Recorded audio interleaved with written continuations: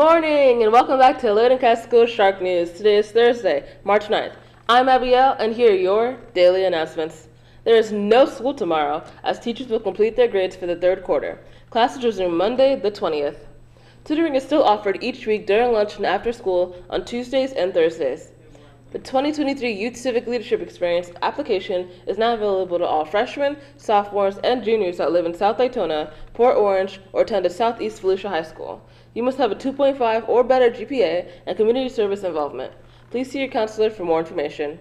The end of the year tests are next nine weeks. The ninth grade ELA test is May 8th, 10th grade ELA test is May 9th, Algebra EOC is May 11th, the Geometry EOC is May 12th, the U.S. History EOC is May 18th, and the Biology EOC is May 19th. Today is the last day of ACT NCR testing for students needing concordant scores for graduation. Daytona State College will be on campus March 28th for our on-site admission day. Please stop by the counseling office to secure your spot. Prom tickets go on sale for juniors and seniors on March 20th through the 24th for $70 each. Please enjoy this short video after the news of Mr. Watson and our mascot Sharky at yesterday's Scootathon.